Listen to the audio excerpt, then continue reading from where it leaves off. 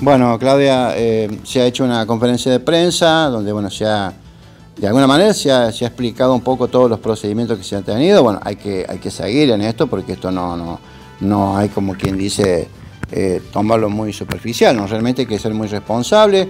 Se ha tenido mucha responsabilidad aquí en la Tordilla, que es lo que quedó expuesto en la, conferencia. Bueno, ¿cómo sigue ahora? Eh, buenos días, Fernando. sí, la verdad que eh, el objetivo era dar un panorama de todo lo que hemos venido haciendo y trabajando en, el, en lo largo de esta cuarentena y eh, creo que ahora empieza la parte eh, más preocupante y, que cada uno tiene que poner más cuidados hacia su persona para que estar todos más tranquilos dentro de, de, una comunidad, ¿no es cierto? Porque bueno, mientras estábamos todos encerrados en cuarentena, era una cosa. Ahora ya estamos en una fase de distanciamiento.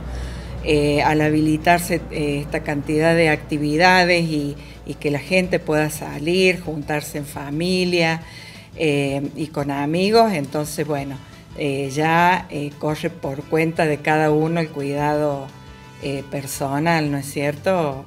De, lavado de manos, eh, el uso del barbijo eh, y bueno, todo eh, el protocolo que ya sabemos y conocemos ante esta pandemia. El doctor Luján marcaba de que se viene una fecha muy, muy importante, que es la del domingo, que tiene que ver con el Día del Padre, donde va a haber mucho movimiento, gente que va, gente que viene, y bueno, los controles van a tener también mucho, mucho trabajo, ¿no? Sí, por supuesto lo que nosotros hemos enfocado y lo que está previsto dentro del Departamento San Justo es que la gente se pueda eh, movilizar libremente dentro del Departamento San Justo.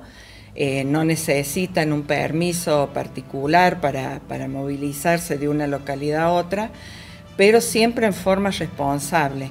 Eh, venir de, de zonas blancas, no tratar nosotros de irnos a pasar un día, por ejemplo, a Córdoba, que es una zona roja, donde sabemos, eh, o sea, nosotros sabemos a dónde vamos, a una casa, pero no sabemos si la persona que está al frente nuestro está enferma o no. Entonces, eh, tratar de, evitar esas cosas, de, movilizarnos hacia esos lugares. Mientras estemos en una zona blanca y vamos hacia otra zona blanca, no hay ningún problema, porque quiere decir que estamos sanos, sin, el virus circulante. Eh, la pandemia eh, todavía, eh, como decíamos recién el comienzo de la nota, mantiene, nos mantiene alerta. Pero, ¿cuál qué, sensación tiene usted con, esto de no tener ningún caso ni de lo que tiene que ver con el coronavirus y tampoco lo que tiene que ver con el dengue? Esto es un esfuerzo también eh, gubernamental, eh, sanitario y de la gente. Sí, eh, es un esfuerzo de, toda la comunidad porque bueno, se ha trabajado muy mucho para lograr que no tengamos ningún caso de, dengue, como decía usted Fernando, ni de, ni de COVID.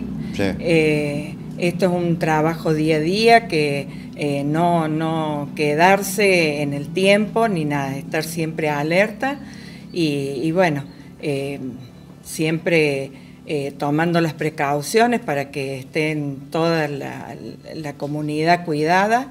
Que bueno, creo que se están logrando los, los objetivos.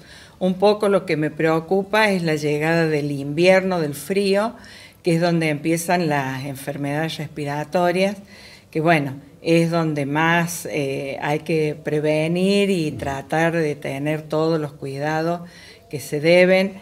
Y bueno, el uso del barbijo es esencial en, eh, en esta etapa. Otra de las cosas que quedó expuesta en la conferencia fue el gran compromiso de las instituciones, ¿no? Sí, sí, por supuesto, las instituciones siempre apoyando a todo el trabajo porque eh, el municipio únicamente no eh, no puede abarcar a toda la comunidad, eh, siempre con el apoyo del centro de salud, de la cooperativa de luz que también se sumó, de la gente en forma particular que nos hizo llegar sus donaciones, eh, la, la, Mutua Lampu que ofreció su, en forma desinteresada todo su apoyo en cualquier momento que hiciese falta. Así que bueno, colaboración de todas las instituciones del pueblo y de la gente en particular, que agradecida totalmente de los voluntarios, que han estado a las entradas del pueblo y que siguen estando, de los empleados municipales que eh, ante estar expuestos hacia la afuera, al andar en la calle, son, es la gente que más expuesta está a este, a, esta, a este virus y sin embargo sin ningún problema siempre estuvieron a disposición de lo que se los mandó a hacer. Claudia, eh, eh, siempre nosotros es un gusto estar acá y siempre agradecidos por dejarnos ser parte de todo lo que ocurre aquí en la Tordilla. Bueno, un gusto Fernando y gracias por estar nuevamente aquí en La Tordilla, eh, siempre eh, transmitiendo lo que pase aquí en nuestro pueblo. Gracias por llegarse una vez más hasta La Tordilla. No, gracias a usted. Gracias.